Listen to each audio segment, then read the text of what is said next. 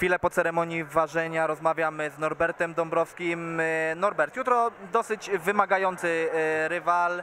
E, Jak nastawienie przed jutrzejszym pojedynkiem? Tak, dobrze powiedziałeś. Bartłomiej Grawka jest wymagającym rywalem. Widać, że to jest taki zawodnik, który nie odpuszcza, idzie do przodu. Może technicznie nie jest wirtuozem boksu, ale ma charakter do walki i na pewno tak łatwo nie odpuszcza. Moje nastawienie. Ja jestem bardzo dobrze przygotowany do jutrzejszej walki, także wychodzę i, i boksuję po prostu. Wychodzę, boksuję. Na pewno będzie trzeba go przełamać, bo będzie szedł do przodu. E, widziałem jego walkę z e, Andrzejem Soudrą, tam miał go nawet e, na deskach liczonego, także wiem, że nie można go zlekceważyć, trzeba wyjść i po prostu go solidnie wyboksować. No dobra, mówiłeś, że zawodnik e, będzie szedł do przodu, czyli co? Czyli Noraz będzie wchodził w ten półdystans, bił się, czy może poszukasz boksu z defensywy? Może jakaś kontra? Będę szukał różnych, e, różnych rozwiązań, będę na pewno też troszeczkę się pewnie pobiję, ale e, bardziej będę szukał błędów przeciwnika i próbował też właśnie, tak jak powiedziałeś, uderzyć coś z kontry. A jak minął okres przygotowawczy do tego pojedynku? Z kim sparowałeś?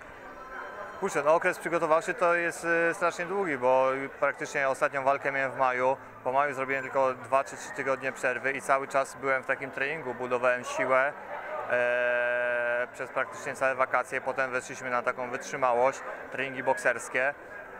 E, sparingi. No, sparow- nie miałem e, s- s- sparring partnerów, sparowaliśmy między sobą, sparowałem z Maćkiem Sulenskim, e, już tak pomału pomagałem mu imitować troszeczkę styl Grześka Proxy, także pomóc się przygotować już pod tą nas e, ważniejszą, ważną walkę. E, z Darkiem Senkiem, przyjeżdżali jeszcze tam różni zawodnicy, przyjechałem, byliśmy tutaj w Radomiu też na sparingach.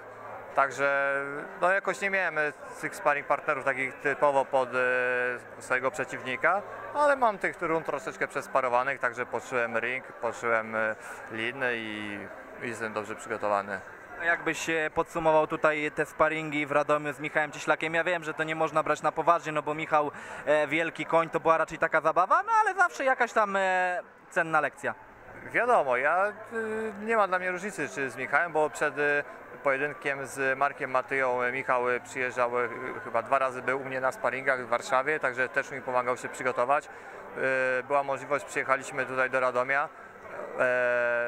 Wszedł do mnie tam na koniec na dwie rundy, jakaś możliwość złapania kontaktu, pobawienia się. Dlatego ja jestem chętny na to, trzeba boksować z różnymi zawodnikami, którzy reprezentują różny styl boksowania i mimo różnicy wagi wiadomo, że zawsze na tych sparingach no, trzeba się czegoś nauczyć. Jak te ostatnie godziny spędzisz przed walką? Normalnie, na pewno znaję się teraz, bo kurczę, no przyznam, że troszeczkę teraz zbiłem wagi, trochę musiałem zejść w dół, przytrzymać troszeczkę, musiałem dietę.